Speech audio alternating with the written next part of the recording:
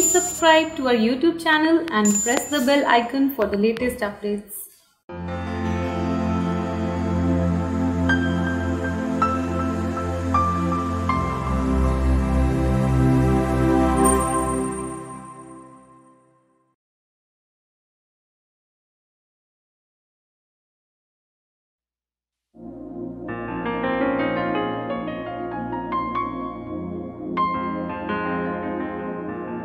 ਇਨਾਂ ਦੇ ਰਾ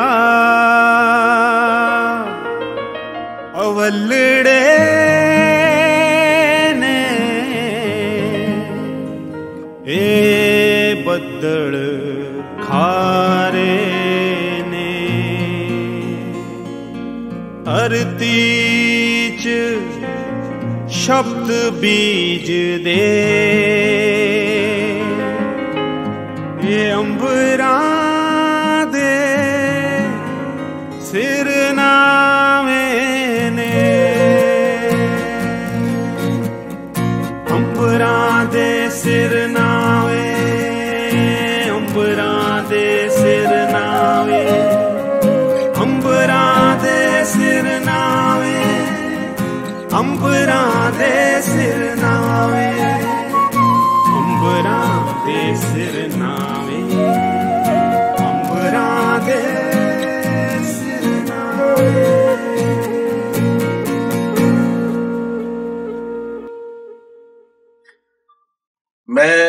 ਆਪਣੀ ਹੋਸ਼ ਵਿੱਚ ਰਹਿ ਕੇ ਜੁਰਮ ਹਰ ਸ਼ਾਮ ਕਰਦਾ ਹਾਂ ਕਿ ਆਂਗਨ ਸਵਾਰਦਾ ਤੇ ਘਾਹ ਦਾ ਕਤਲੇਆਮ ਕਰਦਾ ਹਾਂ।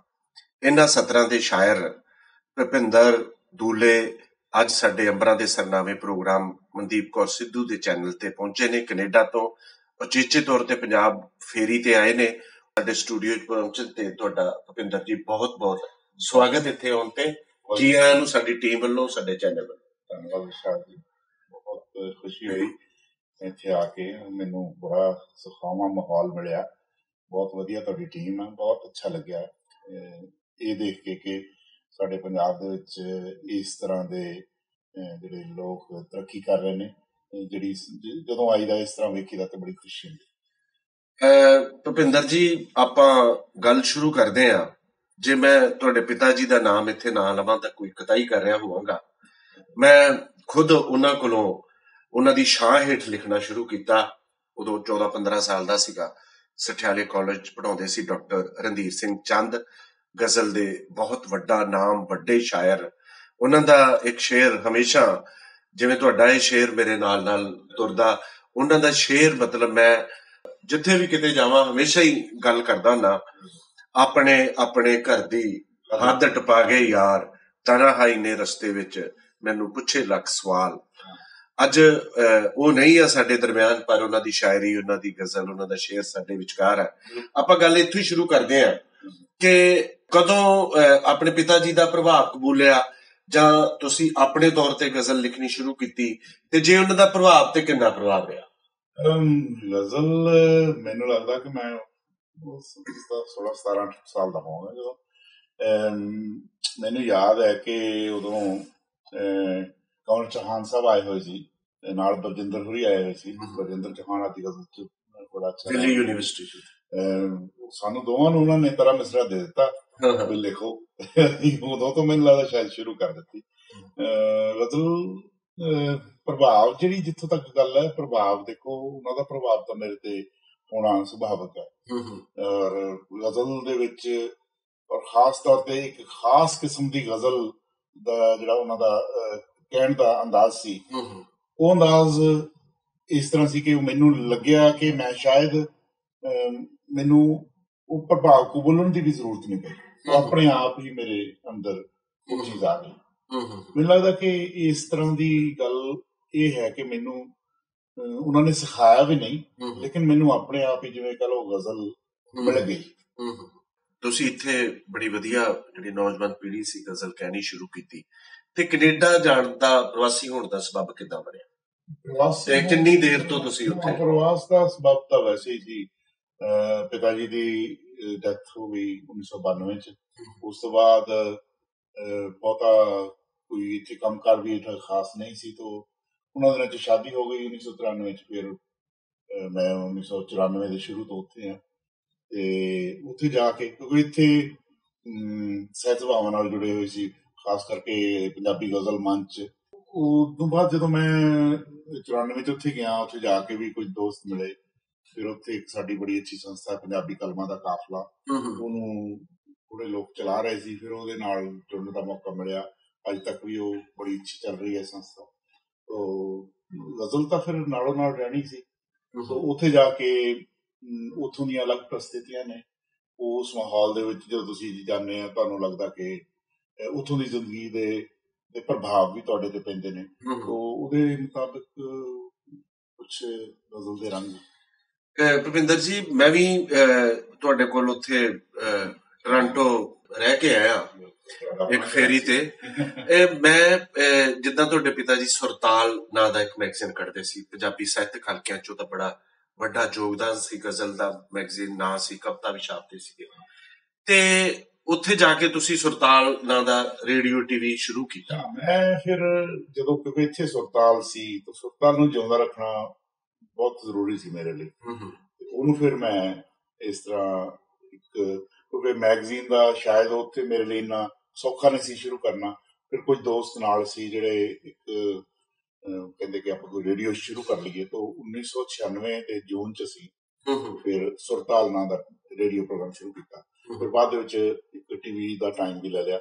ਅੱਜ ਕੱਲ ਤਾਂ ਹੁਣ ਆਮ ਹੋ ਗਏ ਟੈਲੀਵਿਜ਼ਨ ਜਿਹੜੇ ਕਿ 24 24 ਘੰਟੇ ਵੀ ਚੱਲਦੇ ਜਿਹੜੇ ਲੋਕਾਂ ਨੇ ਆਪਣੇ ਸਟੇਸ਼ਨ ਚਲਾ ਲਏ। ਲੇਕਿਨ ਉਹਨਾਂ ਦਿਨਾਂ 'ਚ ਸਾਨੂੰ ਜਿਹੜੇ ਨੈਸ਼ਨਲ ਟੀਵੀ ਹੈਗੇ ਉਹਨਾਂ ਤੋਂ ਟਾਈਮ ਲੈਣਾ ਪੈਂਦਾ ਸੀ ਜਿਹੜਾ ਮਤਲਬ ਮੇਨ ਮੇਨ ਸਟ੍ਰੀਮ ਮੀਡੀਆ ਤੋਂ ਤੋਂ ਅੱਧੇ ਘੰਟੇ ਦਾ ਪ੍ਰੋਗਰਾਮ ਸਾਡਾ ਹੁੰਦਾ ਸੀ ਪਰ ਉਸ ਨਿਰੋਲ ਸਾਹਿਤਿਕ। ਫਿਰ ਉਹ 10 ਸਾਲ ਤੁਸੀਂ ਕਰੀਬ ਚਲਾਇਆ ਹਾਂ 10 ਸਾਲ ਕਰੀਬ ਚਲਾਇਆ ਫਿਰ ਕੁਝ ਪਰਿਵਾਰਕ ਮਜਬੂਰੀਆਂ ਸੀਗੀਆਂ ਉਸ ਕਰਕੇ ਮੈਨੂੰ ਇੱਥੇ ਰਹਿਣਾ ਪਿਆ ਇੰਡੀਆ ਉਹ ਇੱਕ ਸਾਲ ਤਕਰੀਬਨ ਤੋਂ ਫਿਰ ਉਹ ਉਹ ਬੰਦ ਕਰਕੇ ਲੇਕਿਨ ਉਹਨੂੰ ਫਿਰ ਮੈਂ ਜਿਹੜਾ ਇਹਦੇ ਤੇ YouTube ਤੇ ਇੱਕ ਚੈਨਲ ਹੈ ਸੁਰਤਾਲ। ਹੂੰ ਹੂੰ। ਅੱਛਾ ਜਿਸ ਤਰ੍ਹਾਂ ਤੁਸੀਂ ਉਹ ਮੈਗਜ਼ੀਨ ਜਿਹੜਾ ਸੁਰਤਾਲ ਸੀ ਜਿੱਦਾਂ ਤੁਸੀਂ ਕਿਹਾ ਵੀ ਉਹ ਕੱਢਣਾ ਬੜਾ ਔਖਾ ਸੀ ਪਰ ਹੁਣ ਤਾਂ ਸੋਰਸ ਵੀ ਬਹੁਤ ਆ ਗਏ ਆ ਡਾਲਰ ਵੀ ਆ ਗਏ ਹੋਣਗੇ ਬਹੁਤ ਸਾਰੇ। ਤੇ ਕਦੀ ਦੁਬਾਰਾ ਨਹੀਂ ਮਨ ਚ ਆਇਆ ਕਿ ਉਹ। ਸੁਰਤਾਲ ਨਾਂ ਦੇ ਮੈਗਜ਼ੀਨ ਨੂੰ ਦੁਬਾਰਾ ਸ਼ੁਰੂ ਕੀਤਾ ਜਾਵੇ? ਵੈਸੇ ਹੈ ਇੱਛਾ ਕਰਨ ਦੀ ਲੇਕਿਨ ਹੁਣ ਇਸ ਤਰ੍ਹਾਂ ਕਿ ਹਰ ਚੀਜ਼ ਜਿਹੜੀ ਆ ਉਹ ਉਹ ਆਨਲਾਈਨ ਹੋ ਗਈ ਸਭ ਕੁਝ ਇਸ ਤਰ੍ਹਾਂ ਹੋ ਗਿਆ। ਹੁਣ ਪੇਪਰ ਮੈਨੂੰ ਲੱਗਦਾ ਕਿਤਾਬੀ ਰੂਪ ਚ ਸ਼ਾਇਦ ਜਾਂ ਰਸਾਲੇ ਦੇ ਰੂਪ ਚ ਘੱਟ ਲੋਕ ਪੜ੍ਹਦੇ ਨੇ ਉਹਨੂੰ ਕਿਤੇ ਆਨਲਾਈਨ ਕੋਈ ਮੈਗਜ਼ੀਨ ਇਸ ਤਰ੍ਹਾਂ ਚਲਾ ਲਿਆ ਜਾਵੇ ਜਿਹੜਾ ਕਿ ਤੁਹਾਨੂੰ ਭੇਜਣਾ ਵੀ ਨਹੀਂ ਪੈਂਦਾ। ਸਾਰੀ ਦੁਨੀਆ 'ਚ ਕਿਤੇ ਵੀ ਜਿੱਥੇ ਕੋਈ ਬੈਠਾ ਪੰਜਾਬੀ ਪੜ੍ਹਨ ਵਾਲਾ ਉਹ ਪੜ੍ਹ ਸਕਦਾ। ਤਾਂ ਉਸ ਤਰ੍ਹਾਂ ਆਪਾਂ ਕਰ ਸਕਦੇ ਹਾਂ। ਤੁਸੀਂ ਨਾਲ ਲਾਓ ਤੇ ਕਰ ਲੈਂਦੇ ਅੱਛਾ ਭੁਪਿੰਦਰ ਜੀ ਇੱਕ ਗੱਲ ਆਪਾਂ ਥੋੜੀ ਜੀ ਗਜ਼ਲ ਤੋਂ ਹਟ ਕੇ ਗੱਲ ਕਰਦੇ ਸ- ਜਿਹੜੀ ਸਮਾਜਿਕ ਸਰੋਕਾਰਾਂ ਦੇ ਨਾਲ ਗੱਲ ਜੁੜੀ ਹੋਈ ਆ। ਅੱਜ ਜਦੋਂ ਤੁਸੀਂ ਗਏ ਸੀ ਅੱਜ ਤੋਂ 25 ਸਾਲ ਪਹਿਲਾਂ ਮੇਰਾ ਖਿਆਲ ਤੁਸੀਂ ਹਾਂ ਮਤਲਬ 27 28 ਸਾਲ। 27 28 ਸਾਲ ਹੋ ਗਏ ਆ ਉਦੋਂ ਕੁਝ ਜਾਣ ਦੇ ਕਾਰਨ ਹੋ ਸੀਗੇ ਉਦੋਂ ਸਟੂਡੈਂਟ ਵੀ ਇੰਨੇ ਨਹੀਂ ਜਾਂਦੇ। ਅੱਜ ਜਿਹੜਾ ਸਟੂਡੈਂਟ ਆ ਮਤਲਬ ਹਰ ਸਟੂਡੈਂਟ ਜਿਹੜਾ ਹਰ ਘਰ ਚੋਂ ਦੂਜੇ ਘਰ ਚੋਂ ਕੀ ਹਰ ਘਰ ਚੋਂ ਹੀ ਕਹਿ ਰਿਹਾ ਕਿ ਮੈਂ ਦੋ ਦੋ ਤਿੰਨ ਤਿੰਨ ਬੱਚੇ। ਦੋ ਦੋ ਤਿੰਨ ਤਿੰਨ ਬੱਚੇ ਉੱਥੇ ਜਾ ਰਹੇ ਆ। ਉੱਥੋਂ ਦੇ ਸਟੂਡੈਂਟ ਦਾ ਕੀ ਭਵਿੱਖ ਆ ਅੱਜ ਦੀ ਤਰੀਕ 'ਚ? ਤੇ ਤੁਸੀਂ ਉੱਥੇ ਰਹਿ ਰਹੇ ਆ ਸਾਰਾ ਕੁਝ ਦੇਖਦੇ ਆ। ਇਹਦੇ ਬਾਰੇ ਸਾਡੇ ਦਰਸ਼ਕਾਂ ਨੂੰ ਆਪਣੇ ਸਰੋਤਿਆਂ ਨੂੰ ਤੁਸੀਂ ਜਾਣਕਾਰੀ ਦਿਓ ਕਿ ਜਾਣਾ ਚਾਹੀਦਾ ਨਹੀਂ ਜਾਣਾ ਚਾਹੀਦਾ ਜਾਂ ਕੀ ਹੋਣਾ ਚਾਹੀਦਾ। ਇਹ ਗੱਲ ਤਾਂ ਅਲੱਗ ਹੈ ਇਹ ਹਰ ਇੱਕ ਦਾ ਆਪਣਾ ਆਪਣਾ ਨਿਰਣਾ ਹੁੰਦਾ ਲੇਕਿਨ ਮੈਨੂੰ ਲੱਗਦਾ ਕਿ ਥੋੜੀ ਜੀ ਇਸ ਗੱਲ 'ਚ ਸਮਝਦਾਰੀ ਵਰਤਣੀ ਚਾਹੀਦੀ ਹੈ ਪਰਿਵਾਰਾਂ ਨੂੰ ਮਾਪਿਆਂ ਨੂੰ ਖਾਸ ਕਰਕੇ ਕਿ ਮੈਂ ਆਪਣੇ ਬੱਚੇ ਨੂੰ ਬਹੁਤ ਛੋਟੀ ਉਮਰ 'ਚ ਭੇਜ ਰਿਹਾ। ਉੱਥੇ ਜਾ ਕੇ ਉਹ ਕੀ ਕਰੂਗਾ? ਸੋ ਉੱਥੇ ਜਾ ਕੇ ਬੱਚੇ ਬਹੁਤ ਬਹੁਤ ਮਿਹਨਤ ਕਰ ਰਹੇ। ਬਹੁਤ ਇਸ 'ਚ ਕੋਈ ਦੋਰਾਵਾ ਨਹੀਂ। ਬੱਚੇ ਉੱਥੇ ਜਾ ਕੇ ਕੰਮ ਵੀ ਕਰਦੇ ਆ ਪੜ੍ਹਾਈ ਵੀ ਉਹਨਾਂ ਨੇ ਕਰਨੀ ਹੁੰਦੀ ਫਿਰ ਆਪਣਾ ਖਾਣਾ ਵੀ ਪਕਾਉਣਾ ਹੁੰਦਾ ਸਭ ਕਿਉਂਕਿ ਬੱਚੇ ਜਾਂ ਬੱਚੀਆਂ ਜਿਹੜੇ ਵੀ ਗਏ ਨੇ ਉਹ ਸਭ ਸਾਰੇ ਦੇ ਸਾਰੇ ਇਸ ਤਰ੍ਹਾਂ ਕੰਮ ਕਰਦੇ ਫਿਰ ਪਰਿਵਾਰ ਤੋਂ ਦੂਰ।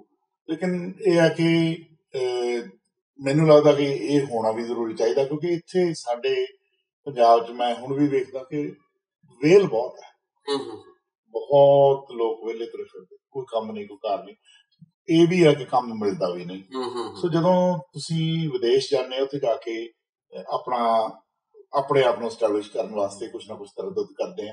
ਤੋਂ ਮੈਨੂੰ ਲੱਗਦਾ ਕਿ ਭਵਿੱਖ ਵੀ ਇਸ ਤਰ੍ਹਾਂ ਉਹਨਾਂ ਦਾ ਜਿਹੜਾ ਹੈ ਉਹ ਵਧੀਆ ਬਣ ਸਕਦਾ ਕੈਨੇਡਾ ਬਹੁਤ ਵੱਡਾ ਮੁਲਕ ਹੈ ਬਹੁਤ ਵਿਸ਼ਾਲ ਹੈ ਉਹਦੀ ਉਹਦੇ ਕੋਲੇ ਭੂਮੀ ਬਥੇਰੀ ਪਈ ਹੈ।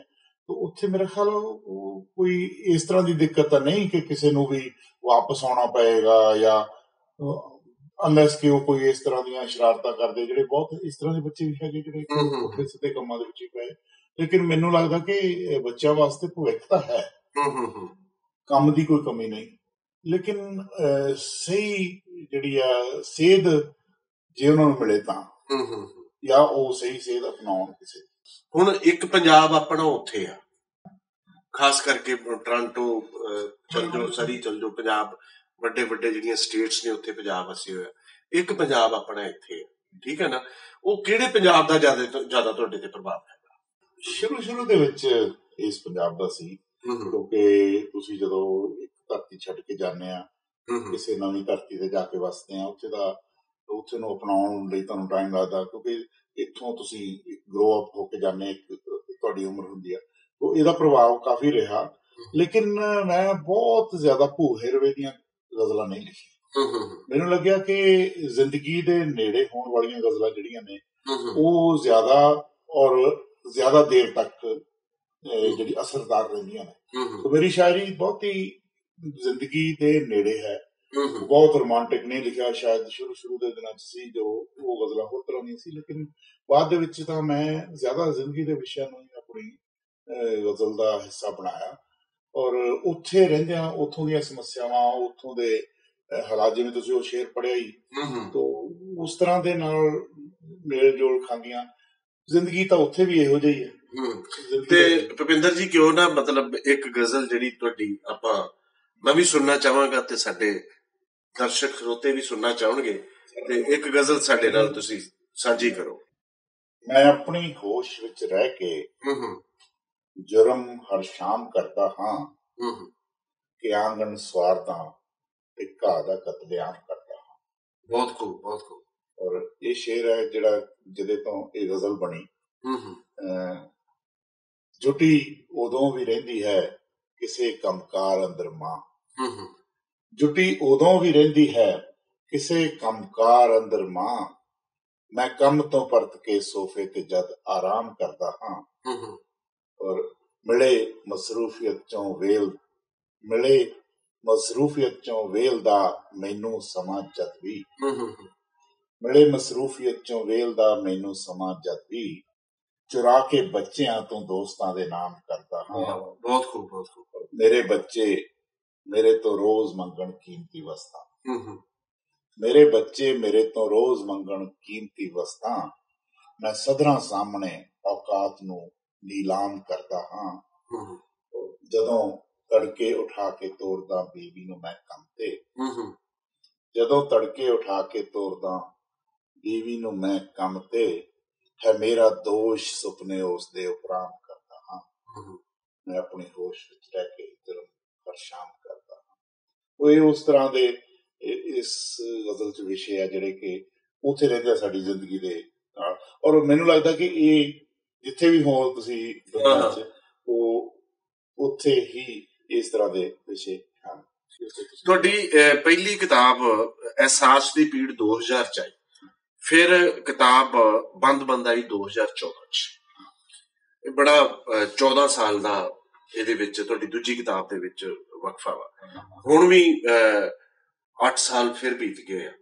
ਮਤਲਬ ਇੰਨੀ ਜਿਆਦੀ ਚੁੱਪ ਇੱਕ ਪਾਸੇ ਤੁਹਾਡੇ ਕੈਨੇਡਾ ਦੇ ਜਾਂ ਇੰਗਲੈਂਡ ਦੇ ਜਾਂ ਅਮਰੀਕਾ ਦੇ ਸ਼ਾਇਰ ਨੇ ਕਿ ਆਏ ਸਾਲ ਮਤਲਬ ਆਏ 6 ਮਹੀਨੇ ਬਾਅਦ ਉਹਨਾਂ ਦੀਆਂ ਕਿਤਾਬਾਂ ਛਪ ਰਹੀਆਂ। ਤੇ ਇਹਦੇ ਬਾਰੇ ਤੁਸੀਂ ਕੀ ਕਹਿਣਾ ਚਾਹੋਗੇ? ਮੈਂ ਸ਼ੁਰੂ ਕਰਦਾ ਗੱਲ ਪਿਤਾ ਜੀ ਤੋਂ ਉਹਨਾਂ ਨੇ ਬਹੁਤ ਘੱਟ ਲਿਖਿਆ।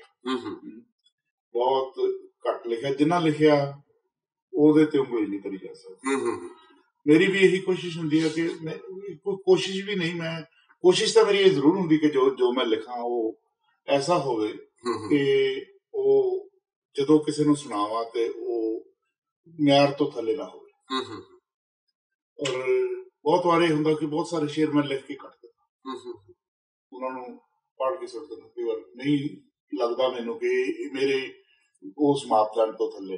ਹੂੰ ਹੂੰ ਔਰ ਲਿਖਣ ਦੀ ਗੱਲ ਹੈ ਮੇਰੇ ਤੋਂ ਲਿਖਿਆ। ਮੈਂ ਕੋਈ ਪ੍ਰੋਫੈਸ਼ਨਲ ਰਾਈਟਰ ਤਾਂ ਨਹੀਂ। ਮੈਂ ਤਾਂ ਆਪਣੇ ਸ਼ੌਕ ਲਈ ਲਿਖਦਾ। ਜਾਂ ਜ਼ਿੰਦਗੀ ਵਾਸਤੇ ਲਿਖਦਾ। ਸੋ ਮੈਨੂੰ ਲੱਗਦਾ ਕਿ ਮੈਂ ਉਹੀ ਮੇਰਾ ਜਿਹੜਾ ਰੁਝਾਨ ਹੈ ਮੇਰਾ ਲਿਖਣ ਦਾ ਜੋ ਹੈ ਉਹ ਬਹੁਤ ਸਲੋ ਪ੍ਰੋਸੈਸ ਹੈ। ਪਰ ਉਹ ਪ੍ਰੋਸੈਸ ਮੈਨੂੰ ਲੱਗਦਾ ਕਿ ਉਹ ਕਸ਼ੀਦ ਹੋ ਕੇ ਜਦੋਂ ਤੁਸੀਂ ਕਿਸੇ ਚੀਜ਼ ਨੂੰ ਕੱਢਦੇ ਆ ਤਾਂ ਉਹ ਉਹ ਰੰਗ ਆਪਣਾ ਹੀ ਪਿਛਲੇ ਸਾਲ ਜਾਂ ਪਿਛਲੇ ਸਮੇਂ 'ਚ ਮੈਂ ਦੇਖਿਆ ਕਿ ਇੱਕ ਇੱਕ ਮਹੀਨੇ ਦੇ ਵਕਫੇ ਨਾਲ ਇੱਕ ਇੱਕ ਹਫ਼ਤੇ ਦੇ ਵਕਫੇ ਨਾਲ ਪੰਜਾਬੀ ਕਾਨਫਰੰਸ ਕਾਨਫਰੰਸ ਹੋ ਰਹੀ ਆ। ਵਿਸ਼ਵ ਪੰਜਾਬੀ ਕਾਨਫਰੰਸ ਹੋ ਰਹੀ ਆ। ਚੰਡੀਗੜ੍ਹ ਹੋ ਰਹੀ ਆ ਲੁਧਿਆਣੇ ਹੋ ਰਹੀ ਆ ਪਟਿਆਲੇ ਹੋ ਰਹੀ ਆ। ਸਾਡੇ ਤਾਂ ਇਹ ਹਾਲ ਇੱਕੋ ਦਿਨ 'ਚ ਦੋ ਦੋ ਹੁੰਦੀਆਂ ਨੇ ਕੁਝ ਲੋਕਾਂ ਦਾ ਪ੍ਰਭਾਵ ਇੱਥੇ ਬਹੁਤਾ ਵਧੀਆ ਵੀ ਨਹੀਂ ਹੈਗਾ ਕਿ ਉਹ ਕੁਝ ਲੋਕ ਜਾਣ ਲਈ ਉਤਾਵਲੇ ਨੇ। ਤੇ ਫਿਰ ਇਹੋ ਜਿਹੀਆਂ ਵਿਸ਼ਵ ਪੰਜਾਬੀ ਕਾਨਫਰੰਸਾਂ ਹੁਣ ਬਹੁਤ ਸਾਰਾ ਮੀਡੀਆ 'ਚ ਸੁਣਨ ਨੂੰ ਵੀ ਮਿਲਦਾ ਵਾ ਵੀ ਆਉਂਦੇ ਨੇ ਜਗਾੜ ਕਰਨ ਆਉਂਦੇ ਨੇ ਇਧਰਲੇ ਉਹਨਾਂ ਨੂੰ ਹੱਥਾਂ ਚੁੱਕਦੇ ਆ ਇਹਨਾਂ ਨੇ ਉੱਥੇ ਜਾਣਾ ਹੁੰਦਾ ਵਾ ਤੇ ਉਹਨਾਂ ਨੂੰ ਚੁੱਕਦੇ ਆ। ਕਬੂਤਰਬਾਜੀ ਵੀ ਕਿਤੇ ਨਾ ਕਿਤੇ ਸੁਣਨ ਨੂੰ ਮਿਲਦੀ ਆ। ਤੇ ਤੁਸੀਂ ਉੱਥੇ ਰਹਿੰਦੇ ਆ। ਵਿਸ਼ਵ ਪੰਜਾਬੀ ਕਾਨਫਰੰਸਾਂ ਉੱਥੇ ਹੁੰਦੀਆਂ ਵਾ। ਇਹਦੇ ਬਾਰੇ ਜਿਹੜਾ ਖੁੱਲ ਕੇ ਤੇ ਬੇਬਾਕ ਹੋ ਕੇ ਗੱਲ ਕਰਨੀ ਆ ਜਿੱਦਾਂ ਦਾ ਮੇਰਾ ਸਵਾਲ ਆ ਉਦਾਂ ਦਾ ਹੀ ਜਵਾਬ ਚਾਹੀਦਾ। ਗੱਲ ਤਾਂ ਤੁਸੀਂ ਸਾਰੀ ਕਹਿ ਹੀ ਦਿੱਤੀ ਹੈ ਕਬੂਤਰਬਾਜ਼ੀ ਵੀ ਹੁੰਦੀ ਹੈ ਸਭ ਸਾਰੀ ਦੁਨੀਆ ਨੂੰ ਪਤਾ ਹੈ ਇਸ ਗੱਲ ਦਾ। ਮੈਂ ਅਸਲ ਵਿੱਚ ਮੈਂ ਸਹੀ ਤਰੀਕੇ ਨਾਲ ਤੁਹਾਨੂੰ ਕਿ ਮੈਂ ਕਦੇ ਵੀ ਕਿਸੇ ਖੌਤੀ ਕਾਨਫਰੰਸ ਦਾ ਹਿੱਸਾ ਨਹੀਂ ਬਣਿਆ। ਔਰ ਨਾ ਹੀ ਬਣਨਾ ਚਾਹਿਆ ਨਾ ਬਣਾਗਾ ਕਿਉਂਕਿ ਪਹਿਲੀ ਗੱਲ ਉਹਨਾਂ ਕਾਨਫਰੰਸਾਂ ਦੇ ਵਿੱਚ ਕੱਢਣ ਪਾਉਣ ਨੂੰ ਕੁਝ ਨਹੀਂ। ਸਿਰਫ ਤੇ ਸਿਰਫ ਇਹੀ ਆ ਜੋ ਤੁਸੀਂ ਕਹਿਤਾ ਕਬੂਤਰਬਾਜ਼ੀ ਹੈ ਜਾਂ ਆਪਣੇ ਆਪ ਨੂੰ ਪ੍ਰਮੋਟ ਇੱਥੋਂ ਲੋਕ ਜਾਂਦੇ ਨੇ ਸਕੂਲਾਂ ਕਾਲਜਾਂ ਤੋਂ ਉਹ ਜਾ ਕੇ ਉੱਥੇ ਆਪਣਾ ਉਹਨਾਂ ਲੋਕਾਂ ਦੀ ਜੀ ਹਜ਼ੂਰੀ ਕਰਦੇ ਨੇ। ਉਹ ਫਿਰ ਉਹਨਾਂ ਨੂੰ ਉੱਥੇ ਆਪਣੇ ਹਿਸਾਬ ਨਾਲ ਰੱਖਦੇ ਜਿੱਥੇ ਬੇਸਮੈਂਟਾਂ 'ਚ ਫਿਰ ਉਹਨਾਂ ਨੂੰ ਇੱਕ ਆਉਣ ਵੇਲੇ ਇੱਕ ਪੱਤਰ ਮਿਲ ਜਾਂਦਾ ਮਾਣ ਪੱਤਰ। ਉਹ ਲਿਆ ਕੇ ਇੱਥੇ ਉਹਨਾਂ ਨੇ ਆਪਣੇ ਕਾਲਜ ਯੂਨੀਵਰਸਿਟੀ ਨੂੰ ਦੇ ਕੇ ਆਪਣੀ ਪ੍ਰੋਮੋਸ਼ਨ ਲੈਣੀ ਹੁੰਦੀ ਹੈ ਪੈਸੇ ਦੇ ਕੇ ਇੱਥੋਂ ਟਿਕਟਾਂ ਖਰੀਦ ਕੇ ਉਹ ਜਾਂਦੇ। ਬਹੁਤੇ ਲੋਕ ਤਾਂ ਪਿਛਲੀਆਂ ਦੋ ਤਿੰਨ ਕਾਨਫਰੰਸਾਂ ਇਸ ਤਰ੍ਹਾਂ ਹੋਈਆਂ ਕਿ ਪਹੁੰਚੇ ਨਹੀਂ। ਇੱਥੋਂ ਚਲੇ ਗਏ। 에어ਪੋਰਟ ਤੋਂ ਕਿਤੇ ਹੋਰ ਹੀ ਆਪਣਾ ਆਨੰਦ ਮਾਣਦੇ ਘਰ ਕਰਾ ਕੇ ਵਾਪਸ। ਉਸ ਕਾਨਫਰੰਸ ਦਾ ਹਿੱਸਾ ਵੀ ਨਹੀਂ ਬਣੇ ਔਰ ਉਹ ਇੱਥੇ ਆਣ ਕੇ ਆਪਣੀ ਉਹਨਾਂ ਨੇ ਕਾਨਫਰੰਸ ਕਰਵਾਉਣਾ ਜਾਂ ਕਾਨਫਰੰਸ ਦਾ ਮਕਸਦ ਮੇਰਾ ਖਿਆਲ ਹੈ ਕਿ ਉਹ ਬਦਲ ਚੁੱਕਿਆ ਹੂੰ। ਹੂੰ ਪੰਜਾਬੀ ਕਾਨਫਰੰਸ ਇੱਕ ਮੈਨੂੰ ਲੱਗਦਾ ਮਜ਼ਾਕ ਬਣ ਕੇ ਰਹਿ ਚੁੱਕੀ ਹੈ। ਪਰ ਜਿਹੜੇ ਲੋਕ ਉਹ ਵਪਾਰ ਕਰਦੇ ਆ ਉਹਨਾਂ ਵਾਸਤੇ ਬਹੁਤ ਅੱਛਾ ਹੋਏਗਾ। ਹੂੰ ਹੂੰ ਉਹਨਾਂ ਦਾ ਵਪਾਰ ਚੱਲ ਰਿਹਾ ਉਹਨਾਂ ਦਾ ਨਾਮ ਹੋ ਰਿਹਾ ਉਹ ਇੱਥੇ ਆਉਂਦੇ ਇੱਥੇ ਆਣ ਕੇ ਉਹਨਾਂ ਨੂੰ ਵੱਡੇ ਵੱਡੇ ਨਾਮ ਮੋਰਓਵਰ ਮੈਂ ਇੱਕ ਯੂਨੀਵਰਸਿਟੀ ਦੇ ਵਿੱਚ ਕਿਸੇ ਇੱਕ ਬੰਦੇ ਦੀ ਤਸਵੀਰ ਲੱਗੀ ਵੇਖੀ ਔਰ ਉਹ ਤਸਵੀਰ ਦੇ ਥੱਲੇ ਲਿਖਿਆ ਸੀ ਜੀ ਇਹ ਫਲਾਂ ਫਲਾਂ ਫਲਾਂ ਬੰਦੇ ਨੇ ਤੇ ਇਹ ਫਲਾਂ ਫਲਾਂ ਵਿਦਾ ਦੇ ਮਾਹਰ ਨੇ। ਜਦ ਕਿ ਉਹਨੇ ਕਦੇ ਲਿਖਿਆ ਹੀ ਕੁਝ ਨਹੀਂ ਵਿਚਾਰੇ। ਉਹਨੂੰ ਆਪੇ ਕਹਾਣੀਕਾਰ ਜਾਂ ਕਵੀ ਬਣਾ ਦਿੰਦੇ। ਅੱਛਾ ਆਪਾਂ ਗਜ਼ਲ ਦੀ ਗੱਲ ਕੀਤੀ ਆ ਤੇ ਗਜ਼ਲ ਚ ਜੇ ਇੰਡੀਆ ਚ ਵੀ ਆਪਾਂ ਕੁਝ ਨਾਂ ਲੈਣੇ ਹੋਣ ਤੇ ਬਹੁਤ ਤੁਹਾਡੇ। ਪਿਤਾ ਜੀ ਤੋਂ ਬਾਅਦ ਦੀ ਪੀੜ੍ਹੀ ਤੋਂ ਹੁਣ ਦੀ ਸਾਡੀ ਹੈ। ਹੋਰ ਪੀੜ੍ਹੀ ਬਹੁਤ ਰੇਰ ਮਤਲਬ ਗਜ਼ਲ ਨਿਕਲ ਰਹੀ ਹੈ ਚੰਗੀ ਆ। ਕੁਛ ਨਾ ਆਪਾਂ ਦੋਨਾਂ ਨੂੰ ਪਤਾ ਵਾ ਆਪਾਂ ਜ਼ਿਕਰ ਵੀ ਕੀਤਾ ਵਾ। ਗੁਰਤੇਜ ਆ ਵਿਜੇ ਆ। ਆ ਬਰਜਿੰਦਰ ਚੌਹਾਨ ਬਲਜਿੰਦਰ ਚੌਹਾਨ ਹੋਣੀ ਆ ਨੌਜਵਾਨ ਅਹ, ਜੋਗਿੰਦਰ ਯੋਧਾ ਵਾ ਪਟਿਆਲਾ ਯੂਨੀਵਰਸਿਟੀ ਲੁਧਿਆਣੇ ਯੂਨੀਵਰਸਿਟੀ ਤੋਂ। ਇਹਦੇ ਇਹ ਜਿਹੜੀ ਗਜ਼ਲ ਦੀ ਵਿਧਾ ਵਾ ਹੁਣ ਮੈਂ ਸਮਝਦਾ ਵੀ ਆਪਾਂ ਜੇ 50 ਪੋਇਟ ਕਵੀ ਕਵੀ ਕਵਿਤਾ ਲਿਖ ਰਹੇ ਆ ਤੇ ਜੇ ਆਪਾਂ ਗਜ਼ਲ ਵਾਲੇ ਲੈਣੇ ਹੋਣ ਤਾਂ ਮੇਰੇ ਖਿਆਲ ਇੱਕ ਜਾਂ ਦੋ ਹੀ ਚੰਗੇ ਸ਼ਾਇਰ ਨਿਕਲਣਗੇ। ਇਹਦੇ ਕੀ ਕਾਰਨ ਤੁਸੀਂ ਸਮਝਦੇ ਇਹਦੇ ਬਾਰੇ? ਮਿਹਨਤ ਘੱਟ ਹੈ ਇਸ ਮਸਲੇ ਤੇ। ਕਿਉਂਕਿ ਗਜ਼ਲ ਜਿਹੜੀ ਆ ਉਹ ਬਹੁਤ ਔਖੀ ਵਿਧਾ ਹੈ ਆਮ ਬੰਦੇ ਲਈ। ਤੋ ਮੈਨੂੰ ਲੱਗਦਾ ਕਵਿਤਾ ਕਵਿਤਾ ਬਹੁਤ ਲਿਖਣੀ ਔਖੀ ਹੈ। ਕਵਿਤਾ ਨੂੰ ਆਮ ਲੋਕ ਲੈ ਲੈਣਗੇ। ਕਵਿਤਾ 'ਚ ਕੋਈ ਬੰਦਿਸ਼ ਨਹੀਂ ਮੀਟਰ ਨਹੀਂ ਕੁਝ ਨਹੀਂ। ਲੇਕਿਨ ਕਵਿਤਾ ਵੀ ਤਾਂ ਬੜੀ ਬੜੀ ਆਸਾਨੀ ਨਾਲ ਲਿਖਣੀ ਆ ਆਮ ਕਵਿਤਾ ਕਵਿਤਾ ਨਹੀਂ ਹੁੰਦੀ। ਵੀ ਬਹੁਤ ਸਾਰੀਆਂ ਕਵਿਤਾ ਲਿਖੀਆਂ ਜਾ ਰਹੀਆਂ। ਪਰ ਗਜ਼ਲ ਜਿਹੜੀ ਹੈ ਖਾਸ ਕਰਕੇ ਬਹੁਤ ਥੋੜੇ ਨਾਂ ਨੇ। ਮੈਨੂੰ ਲੱਗਦਾ ਕਿ ਉਹ ਉਹ ਲੋਕ ਜਿਹੜੇ ਜ਼ਿਆਦਾ ਪੜ੍ਹਦੇ ਨੇ ਜ਼ਿਆਦਾ ਮਿਹਨਤ ਕਰਦੇ ਨੇ ਜਾਂ ਉਹਨਾਂ ਦੇ ਕੋਲ ਜ਼ਿਆਦਾ ਸੂਖਮ ਭਾਵ ਹੈ। ਜਿਹੜੇ ਗਜ਼ਲ ਵੱਲ ਆਏ ਲੋਕ। ਔਰ ਇਹ ਨਹੀਂ ਕਿ ਨਵੇਂ ਮੁੰਡੇ ਵੀ ਸਾਡੇ ਤੋਂ ਅੱਗੇ ਵੀ ਅੱਛੇ ਲਿਖ ਰਹੇ ਆ ਮੁੰਡੇ ਸਾਡੇ ਬੜੇ ਅੱਛੇ ਰਾਜਵੰਤ ਰਾਜ ਹੈ ਜਾਂ ਫਿਰ ਦਵਿੰਦਰ ਗੌਤਮ ਹੈ ਮੁੰਡਾ ਉੱਥੇ। ਨਵੇਂ ਬਹੁਤ ਅੱਛੇ ਗਜ਼ਲ ਲਿਖਣ ਵਾਲੇ ਮੁੰਡੇ। ਜਿਹੜੇ ਮੈਨੂੰ ਲੱਗਦਾ ਕਿ ਗਜ਼ਲ ਦਾ ਭਵਿੱਖ ਇਹ ਉਜਲਾ ਹੈ। ਇਸ ਤਰ੍ਹਾਂ ਨਹੀਂ ਕਿ ਗਜ਼ਲ ਜਿਹੜੀ ਆ ਉਹ ਉਹ ਕਿਸੇ ਪਛਾਣ ਜਾ ਰਹੀ ਹੈ ਗਜ਼ਲ ਦਾ ਵੀ ਅੱਛਾ ਭਵਿੰਦਰ ਜੀ ਜਿਹੜੀ ਕਿਸੇ ਵੀ ਕਵੀ ਕੋਲ ਜੇ ਮੈਂ ਆਪਾਂ ਹੁਣ ਤੁਹਾਡੇ ਨਾਲ ਹੀ ਗੱਲ ਕਰ ਰਹੇ ਹਾਂ ਅਹ, ਜਿਹੜੀ ਸ਼ੇਰ ਆ ਗਜ਼ਲ ਆ ਉਹ ਭੁਪਿੰਦਰ ਦੂਲੇ ਕੋਲ ਕਿੱਦਾਂ ਆਉਂਦੀ ਆ ਗਜ਼ਲ? ਮੈਨੂੰ ਲੱਗਦਾ ਕਿ ਅਚਾਨਕ ਹੀ ਕੋਈ ਕੋਈ ਵਿਸ਼ਾ ਤੁਹਾਡੇ ਕੋਲੇ ਹੁੰਦਾ ਕਿਸੇ ਕੋਈ ਕੋਈ ਘਟਨਾ ਦੇਖਦੇ ਆ ਤੁਸੀਂ ਜਾਂ ਕੋਈ ਹੋਰ ਕਿਸੇ ਕਿਸਮ ਦਾ ਪ੍ਰਭਾਵ ਕਿਤੋਂ ਲੈਂਦੇ ਆ ਤਾਂ ਉਹਨੂੰ ਫਿਰ ਲੈ ਕੇ ਤੁਸੀਂ ਕੋਈ ਉਸ ਸ਼ੇਰ ਨੂੰ ਬਣਾਉਣਾ ਹੁੰਦਾ ਹੈ। ਕਿਉਂਕਿ ਗਜ਼ਲ ਦੇ ਵਿੱਚ ਸਭ ਤੋਂ ਵੱਡੀ ਗੱਲ ਤਾਂ ਇਹ ਹੈ ਕਿ ਬੰਦਿਸ਼ ਹੈ ਉਹਨੂੰ ਤੁਸੀਂ ਉਸ ਮੀਟਰ ਦੇ ਵਿੱਚ ਵੀ ਢਾਲਣਾ ਹੁੰਦਾ। ਉਹ ਥੋੜੀ ਉਹਦੇ ਤੇ ਮਿਹਨਤ ਲੱਗਦੀ ਹੈ। ਕਵਿਤਾ ਜਿਵੇਂ ਤੁਹਾਨੂੰ ਆਈ ਤੁਸੀਂ ਉਸ ਤਰ੍ਹਾਂ ਲਿਖ ਸਕਦੇ ਆ। ਗਜ਼ਲ ਦਾ ਥੋੜਾ ਅਲੱਗ ਵਿਧਾਨ ਹੈ ਉਹਦੇ ਮੁਤਾਬਕ ਲਿਖਿਆ ਜਾਂਦਾ। ਲੇਕਿਨ ਗਜ਼ਲ ਲਿਖਣਾ ਮੈਨੂੰ ਲੱਗਦਾ ਕਿ ਮੈਂ ਜਦੋਂ ਕੋਈ ਚੰਗਾ ਪੜ੍ਹਦਾ ਜਾਂ ਚੰਗੇ ਵੱਡੇ ਸ਼ਾਇਰਾਂ ਦੀ ਸੋਭਤ ਕਰਦਾ ਤਾਂ ਮੈਨੂੰ ਅੱਛਾ ਲਿਖਿਆ ਜਾਂਦਾ। ਚੰਗੇ ਸ਼ਾਇਰਾਂ ਦੇ ਨਾਂ ਲੈਣੇ ਚਾਹੋਗੇ ਜਿਨ੍ਹਾਂ ਦੇ ਤੁਹਾਡੇ ਤੇ ਪ੍ਰਭਾਵ ਆ? ਮੇਰੇ ਤੇ ਪ੍ਰਭਾਵ ਦੇਖੋ ਡਾਕਟਰ ਨਤੀਰ ਸਿੰਘ ਚੰਦ ਜੀ ਸਾਡੇ ਉਹ ਤਾਂ ਉਹਨਾਂ ਦਾ ਤਾਂ ਹੈ ਹੀ ਰਹੇਗਾ ਪ੍ਰੋਫੈਸਰ ਦੀਦਾਰ ਬੜੇ ਅੱਛੇ ਸ਼ਾਇਰ ਸੀ ਸਾਡੇ। ਸੁਰਜੀਤ ਰਾਮਪੁਰੀ ਜੀ। ਅਜਾਇਬ ਚਿੱਤਰਕਾਰ ਸਾਹਿਬ ਉਹਨਾਂ ਦੇ ਬਹੁਤ ਨੇੜੇ ਰਿਹਾ ਮੈਂ। ਔਰ ਪਾਤਰ ਸਾਹਿਬ ਪਾਤਰ ਸਾਹਿਬ ਜਦੋਂ ਵੀ ਸਾਡੇ ਕੋਲ ਆਉਂਦੇ ਨੇ ਉੱਥੇ ਰਹਿੰਦੇ ਨੇ। ਡਾਕਟਰ ਜਗਤਾਰ ਸਾਡਾ ਪਰਿਵਾਰਕ ਰਿਸ਼ਤਾ ਬਹੁਤ। ਨੇੜਤਾ ਦਾ ਉਹਨਾਂ ਦੇ ਨਾਲ। ਡਾਕਟਰ ਸਾਹਿਬ ਮੇਰੇ ਕੋਲ ਆ ਕੇ ਰਹਿ ਕੇ ਵੀ ਗਏ ਉੱਥੇ ਜਦੋਂ ਵਾਰ ਆਏ ਸੀ। ਤੋ ਇਹਨਾਂ ਸ਼ਾਇਰਾਂ ਨੂੰ ਮੇਰਾ ਖਿਆਲ ਹੈ ਕਿ ਸਾਡੀ ਨਵੀਂ ਪੀੜ੍ਹੀ ਦੇ ਜਿਹੜੇ ਗਜ਼ਲ ਦੇ ਉੱਤੇ ਹੱਥ ਸਵਾਈ ਕਰ ਰਹੇ ਲੋਕ ਉਹਨਾਂ ਨੂੰ ਪੜ੍ਹਨਾ ਜ਼ਰੂਰ ਚਾਹੀਦਾ। ਜਿੰਨਾ ਤੁਸੀਂ ਵੱਧ ਪੜੋਗੇ ਉਨੀ ਗਜ਼ਲ ਤੁਹਾਡੇ ਨੇੜੇ ਹੋਏਗੀ। ਇਹ ਮੇਰਾ ਮੇਰਾ ਆਪਣਾ ਐਕਸਪੀਰੀਅੰਸ ਹੈ।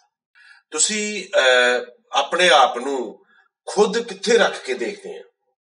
ਜਿਨ੍ਹਾਂ ਸ਼ਾਇਰਾਂ ਦੇ ਨਾਂ ਲਏ ਆ ਜਾਂ ਵੀ ਤੁਹਾਨੂੰ ਲੱਗਦਾ ਹੋਵੇ ਕਿ ਅਜੇ ਕੁਝ ਹੋਰ ਕਰਨ ਵਾਲਾ ਬਾਕੀ ਆ ਆਪਣੇ ਆਪ ਨੂੰ ਕਿੱਥੇ ਕੋ ਰੱਖਦੇ ਵੇਖਦੇ ਆ ਮਤਲਬ? ਮੈਂ ਹਮੇਸ਼ਾ ਸਿਖਾਂਦਰੂ ਰਹਾ ਸਿਖਾਂਦਰੂ ਰਹਾ ਗਜ਼ਲ ਦਾ।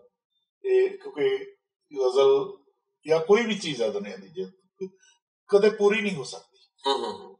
ਉਹਦੀ ਜਿਵੇਂ ਮੈਂ ਕਹਿੰਦਾ ਉਡਾਨ ਦੀ ਕੋਈ ਸਮਰੱਥਾ ਕੋਈ ਕੋਈ ਉਹ ਨਹੀਂ ਹੁੰਦੀ। ਤੁਸੀਂ ਜਿੰਨਾ ਲਿਖੀ ਜਾਂਦੇ ਆ ਹੋਰ ਨਿਰੰਤਰਤਾ ਜੇ ਤੁਹਾਡੇ ਚਾਹੀ ਜਾਂਦੀ ਹੈ ਹੋਰ ਲਿਖੀ ਜਾਂਦੇ ਹੋਰ ਵਧੀਆ ਹੋਰ ਸੁਖਮ ਹੋ ਜਾਂਦੇ ਮੈਂ ਆਪਣੇ ਆਪ ਨੂੰ ਮੈਨੂੰ ਨਹੀਂ ਲੱਗਦਾ ਕਿ ਮੈਂ ਆਪਣੇ ਬਾਰੇ ਕੁਝ ਇਹ ਕਹਿ ਸਕਦਾ ਕਿ ਮੈਂ ਕਿੱਥੇ ਆ। ਇਹ ਤਾਂ ਤੁਸੀਂ ਦੱਸ ਸਕਦੇ ਜਾਂ ਪੜ੍ਹਨ ਵਾਲੇ ਦੱਸ ਸਕਦੇ ਆ। ਲੇਕਿਨ ਜੋ ਜੋ ਮੈਨੂੰ ਮਾਣ ਜੋ ਮੁਕਾਮ ਮਿਲਿਆ ਮੈਂ ਉਹਦੇ ਤੇ ਸੰਤੁਸ਼ਟ ਹੂੰ। ਮੈਂ ਪਹਿਲਾਂ ਵੀ ਕਿਹਾ ਮੈਂ ਉਹ ਉਸ ਤੋਂ ਅੱਛਾ ਭੁਪਿੰਦਰ ਜੀ ਇੱਕ ਗੱਲ ਹੋਰ ਆ। ਬੜੀ ਮੈਂ ਸਮਝਦਾ ਇੰਪੋਰਟੈਂਟ ਸਵਾਲ ਆ। ਮਤਲਬ ਪਾਠਕਾਂ ਅਹ, ਗਜ਼ਲ ਲੇਖਕਾਂ ਤੋਂ ਬਾਹਰ ਦਾ ਸਵਾਲ ਆ। ਜਦੋਂ ਤੁਸੀਂ ਅਹ, ਪੰਜਾਬ ਆਉਨੇ ਆ ਇੰਡੀਆ ਆਉਨੇ ਆ ਤੇ ਇੱਥੇ ਆ ਕੇ ਕਿੱਦਾਂ ਮਹਿਸੂਸ ਹੁੰਦਾ? ਇਹ ਨਹੀਂ ਤੁਹਾਨੂੰ ਲੱਗਦਾ ਆਪਣੀ ਮਿੱਟੀ ਚ ਆ ਕੇ ਵੀ ਸਾਰਾ ਕੁਝ ਛੱਡ ਕੇ ਵਾਪਸ ਆ ਜਾਈਏ? ਜਾਂ ਆਪਣੇ ਲੋਕਾਂ ਨੂੰ ਮਿਲ ਕੇ ਆਪਣੀ ਮਿੱਟੀ ਨੂੰ ਮਿਲ ਕੇ ਕਿੱਦਾਂ ਮਹਿਸੂਸ ਕਰਦਾ ਵੀ ਜਿੱਦਾਂ ਕੋਈ ਗਵਾ ਨਹੀਂ ਲਿਆ ਤੁਸੀਂ ਕੁਝ ਮਤਲਬ ਇਦਾਂ ਦੀ ਫੀਲਿੰਗਸ ਆਉਂਦੀ ਕਿਤੇ ਹਾਂ ਆਉਂਦੀ ਹੈ ਕਦੇ ਕਦੇ ਇਸ ਤਰ੍ਹਾਂ ਤਾਂ ਨਹੀਂ ਕਿ ਨਹੀਂ ਆਉਂਦੀ। ਮੈਨੂੰ ਲੱਗਦਾ ਕਿ ਹੁਣ ਉੱਥੇ ਜਾ ਕੇ ਤੁਸੀਂ ਇੱਕ ਇੱਕ ਜਗ੍ਹਾ ਤੇ ਐਸਟੈਬਲਿਸ਼ ਹੋ ਚੁੱਕੇ ਹੋ। ਉੱਥੋਂ ਛੱਡ ਕੇ ਆਉਣਾ ਮੈਨੂੰ ਲੱਗਦਾ ਵਾਪਸ ਹੋਣਾ ਬੜਾ ਮੁਸ਼ਕਲ ਹੈ। ਪਰ ਹਾਂ ਦਿਲ ਜ਼ਰੂਰ ਕਰਦਾ। ਮੈਂ ਤੁਹਾਨੂੰ ਇੱਕ ਸ਼ੇਰ ਹੂੰ, ਦੋ ਤਾਂ ਕਿ ਹੈ ਇਸ ਇਹ ਤੁਸੀਂ ਗੱਲ ਛੇੜ ਹੀ ਲਈ ਤਾਂ ਮੈਨੂੰ ਲੱਗਦਾ ਜਿਵੇਂ ਮੈਨੂੰ ਮਿਲ ਗਈ ਗਜ਼ਲ ਉਹ ਕਿ ਮੈਂ ਜਿੰਨੀ ਵਾਰ ਵੀ ਉਸ ਥਾਂ ਤੇ ਜਾਵਾਂ ਸਦਾ ਮਾਯੂਸ ਹੋ ਕੇ ਪਰਤਦਾ ਹਾਂ। ਤੁਹਾਡੇ ਸਵਾਲ ਦਾ ਜਵਾਬ ਮਿਲ ਜਾਣਾ। ਮੈਂ ਜਿੰਨੀ ਵਾਰ ਵੀ ਉਸ ਥਾਂ ਤੇ ਜਾਵਾਂ ਸਦਾ ਮਾਯੂਸ ਹੋ ਕੇ ਪਰਤਦਾ ਹਾਂ। ਮਗਰ ਕੋਈ ਤਾਂ ਖਿੱਚ ਹੈ ਜਿਸ ਦੇ ਕਾਰਨ ਹਮੇਸ਼ਾ ਉਸ ਜਗ੍ਹਾ ਨੂੰ ਤਰਸਦਾ।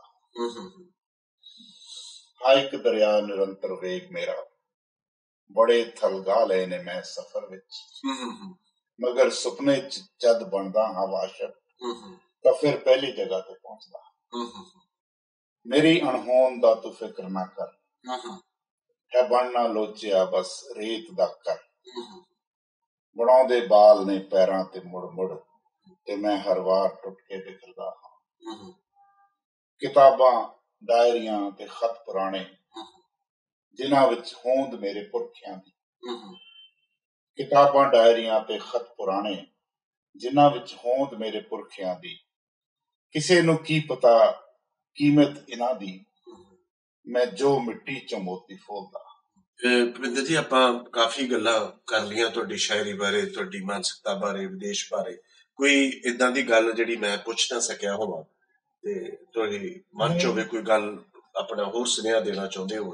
ਮੈਂ ਸੁਨੇਹਾ ਦੇਣ ਦੇ ਕਾਬਿਲ ਨਹੀਂ ਬਸ ਮੁਹੱਬਤ ਦਾ ਸੁਨੇਹਾ ਕਿ ਜਿਓ ਵਸੋ ਕੰਮ ਕਰੋ ਆਪਣੀ ਮਿੱਟੀ ਨਾਲ ਜੁੜੇ ਰਹੋ ਪੰਜਾਬੀ ਬੋਲੀ ਨੂੰ ਜਿਉਂਦਾ ਰੱਖੋ ਕਿਉਂਕਿ ਇਹ- ਪੰਜਾਬੀ ਬੋਲੀ ਲੋਕ ਕਹਿੰਦੇ ਕਿ ਭਾਸ਼ਾ ਮਰ ਰਹੀ ਹੈ ਭਾਸ਼ਾ ਨੂੰ ਜਿਉਂਦੇ ਰੱਖਣ ਲਈ ਸਾਨੂੰ ਕੁਛ ਨਾ ਕੁਛ ਤਰਬੂਤ ਕਰਦੇ ਰਹਿਣਾ ਚਾਹੀਦਾ। ਜਾਂਦੇ ਜਾਂਦੇ ਇੱਕ ਸਵਾਲ ਮੇਰਾ ਹੋਰ ਆ। ਮੈਨੂੰ ਪਤਾ ਵੀ ਲੱਗਾ ਤੇ ਜਿਹੜੀਆਂ ਤੁਹਾਡੇ ਪਿਤਾ ਜੀ ਦੀਆਂ ਬੁੱਕਸ ਨੇ ਮਤਲਬ ਉਹ ਬਹੁਤ ਲੰਬਾ ਸਮਾਂ ਬੀਤ ਗਿਆ ਮੇਰੇ ਕੋਲ ਵੀ ਨਹੀਂ ਹੈ। ਤੇ ਕੋਈ ਇਸ ਤਰ੍ਹਾਂ ਦਾ ਕੋਈ ਚਾਰਾ ਕਰ ਰਹੇ ਹੋ? ਕਿਉਂਕਿ ਉਹਨਾਂ ਦੀ- ਪਾਠਕ ਉਹਨਾਂ ਦਾ ਉਡੀਕ ਰਹੇ ਆ। ਉਹਨਾਂ ਦੀ ਕਿਤਾਬ ਪੂਰੀ ਸਮੁੱਚੀ ਰਚਨਾ ਜਿਹੜੀ ਹੈ ਸਮੁੱਚੀ ਗਜ਼ਲ ਉਹਨਾਂ ਦੀ ਮੈਂ ਉਹ ਐਡਿਟ ਕਰਵਾ ਰਿਹਾ ਅੱਜ ਕੱਲ ਬਹੁਤ ਜਲਦੀ ਉਹਨੂੰ ਆਪਾਂ ਕਰਾਂਗੇ।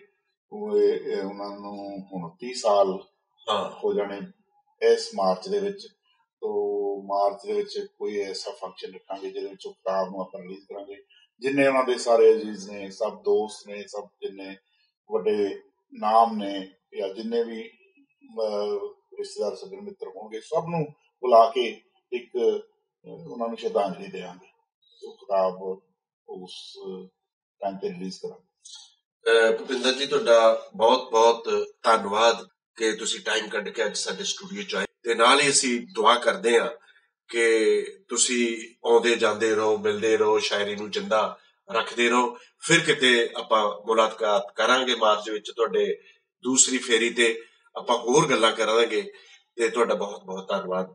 ਦੋਸਤੋ, ਅਹ, ਆਪਣੇ ਸਰੋਤਿਓ ਸਾਡੇ ਇਹ ਸਨ ਭੁਪਿੰਦਰ ਦੂਲੇ ਜੀ, ਅਹ, ਟੋਰਾਂਟੋ ਰਹਿੰਦੇ ਨੇ, ਅੱਜ ਸਾਡੇ ਕੋਲ ਆਏ ਸੀਗੇ। ਤੇ ਅਗਲੇ ਹਫ਼ਤੇ ਫਿਰ ਅਸੀਂ ਨਵਾਂ ਪ੍ਰੋਗਰਾਮ, ਨਵੀਂ ਪਰਸਨੈਲਿਟੀ ਨੂੰ ਲੈ ਕੇ ਤੁਹਾਡੇ ਸਾਹਮਣੇ ਹਾਜ਼ਰ ਹੋਵਾਂਗੇ। ਉਦੋਂ ਤੱਕ ਇਜਾਜ਼ਤ ਦਿਓ, ਤੁਹਾਡਾ ਸਾਰਿਆਂ ਦਾ ਬਹੁਤ ਬਹੁਤ ਧੰਨਵਾਦ।